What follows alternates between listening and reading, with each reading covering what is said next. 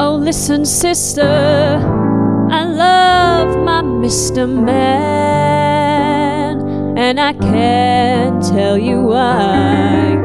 There ain't no reason why I should love that man. It must be something that the angels did plan. To report, every average man you know much prefers his lovely doggy to court when the temperature is low. But when the thermometer goes way up and the weather is sizzling hot, Mr. Pants for romance is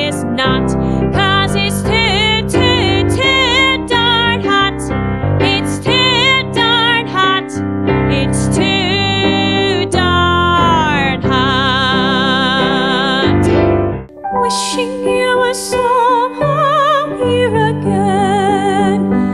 Wishing you were somehow near. Sometimes it seemed if I just dreamed, somehow you would be here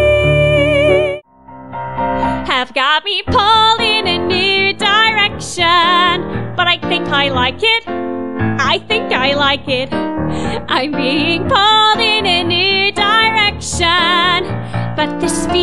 I know is impossible. So I'll confide that I tried, but